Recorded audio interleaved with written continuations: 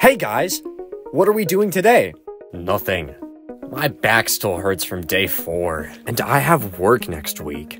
Who has work before Epiphany? Us? Oh, my bad. I guess I'll just have fun on my own. Finally. You guys want to go get some ice cream? Don't worry, we'll save some for him. See you on day seven.